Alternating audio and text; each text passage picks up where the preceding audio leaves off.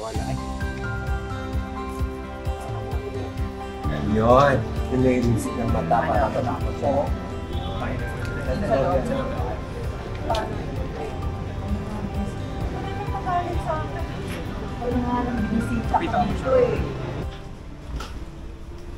Nay, hanggang kayo po kayo dito? Hanggang katapusan. Hanggang katapusan? Nay, kakasimula pa lang ng buwan ah. Oh, bakit naman? Rod naman, ayaw mo ba ako makasama? Eh, kasi yung upahan ko, yung taas na naman ng renta. Kaya umalis na muna ako doon.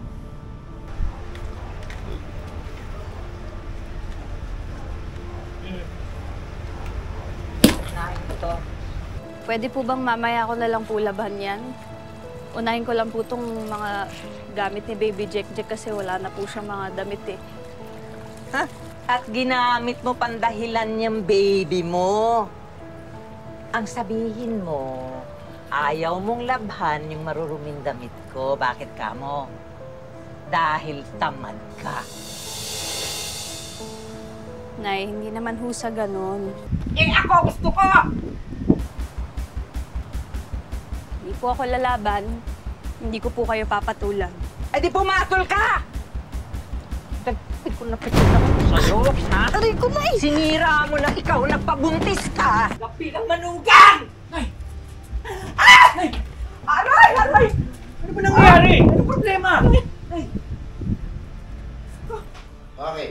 On action, si RJ, tinitingnan yung video, pinanonood. Si, nan si nanay, natutuwa. Nag-work yung plano mo. Hi, mahal.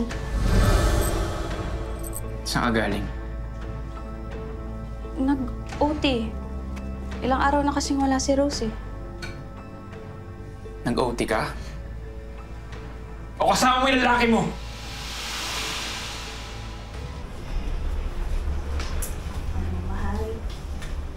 Nagsiselos ka lang kasi nakarami ka na ng inom. Halika na, akit na tayo. Anak ko ba talaga si Jack Jack?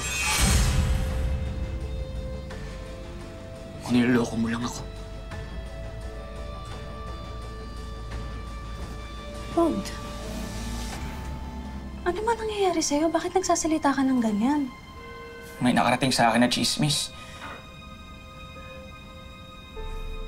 Anak mo daw siya sa... sa ibang lalaki.